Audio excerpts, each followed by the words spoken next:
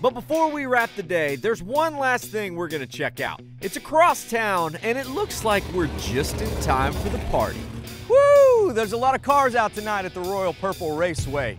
But this ain't just your normal car show. Because tonight, it's not how good your car looks, it's how fast your car is. That's because it's drag night in Baytown.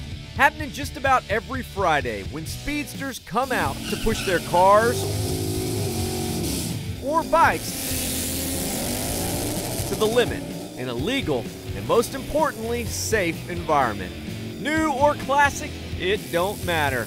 The only thing that matters is your time in the quarter mile. Ooh, smoking, man. You know what? The cool thing about what's happening here is that anyone can do it. And you know, I got a car. Let's race.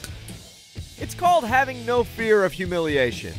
And it's driven me to do some pretty ridiculous things, like racing a car loaded down with gear against a supercharged Porsche.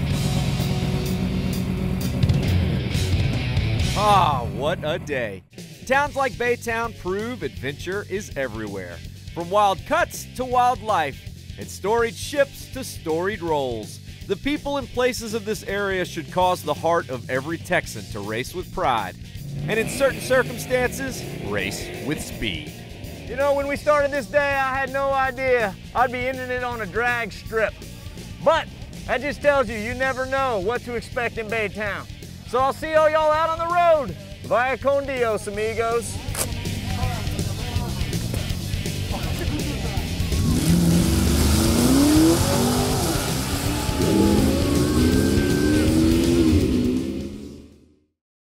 To see the full episode or to get info about how to visit this spot, trip on over to thedaytripper.com. Or here's some other videos you may like.